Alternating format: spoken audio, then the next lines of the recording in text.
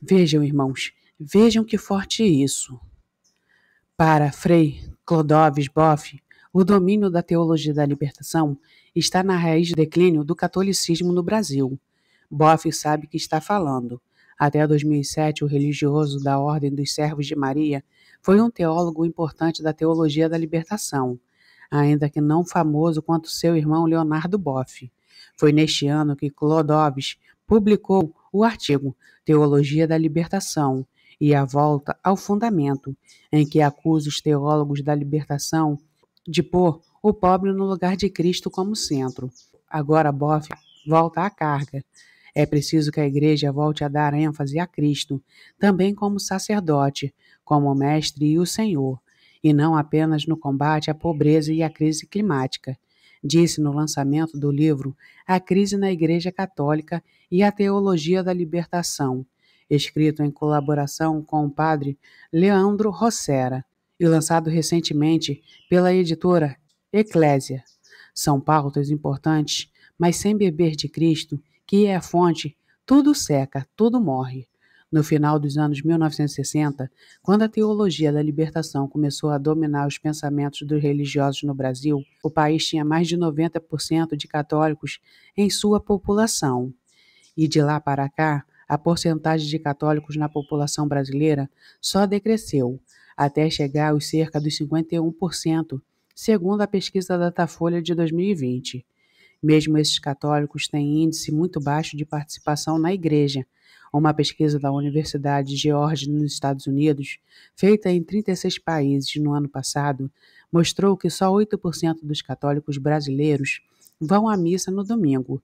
A taxa é a terceira menor entre os países analisados.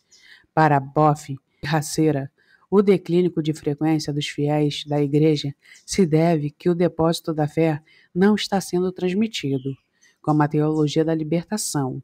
Acontece a instrumentalização da fé em função dos pobres, escreve Clodovs no livro.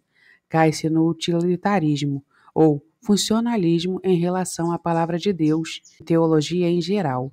A teologia da libertação apela para ideias como margem, gratuidade e reservas escatológicas para afirmar seu respeito e transcendência na fé, na verdade, a parte da transcendência é nesta teologia, a parte menor, menos relevante, a parte de Leão, cabendo, como sempre, a leitura libertadora da fé, escreve Clóvis.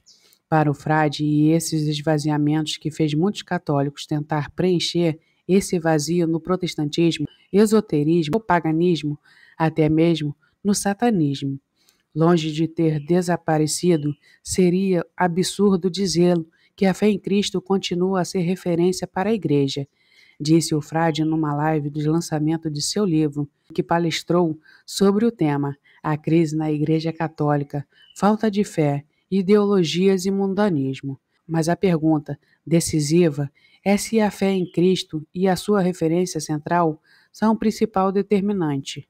Não se trata assim da Igreja, afirma a centralidade de Cristo, apenas em termos formais e teóricos, mas se afirmá-la a existência e, operativamente, como sendo o coração pulsante de toda a vida e ação, comenta o Frei.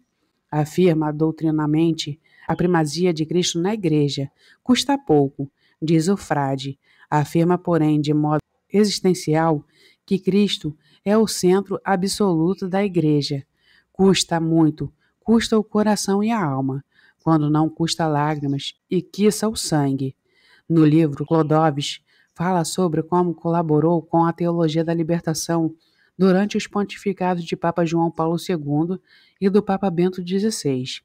Para ele é necessário que a teologia da libertação se representa tendo Cristo no centro e não o pobre, para que seja oportuna, útil e necessária, como foi dito pelo Papa, são João Paulo II em sua carta aos bispos brasileiros de 1986. As críticas teológicas da libertação afastaram os irmãos Clodovis e Leonardo Boff. Leonardo deixou a igreja, casou-se, é professor aposentado de Ética, Filosofia da Religião e Ecologia na Universidade do Estado do Rio de Janeiro. Clóvis vive como frade em Rio Branco, Acre.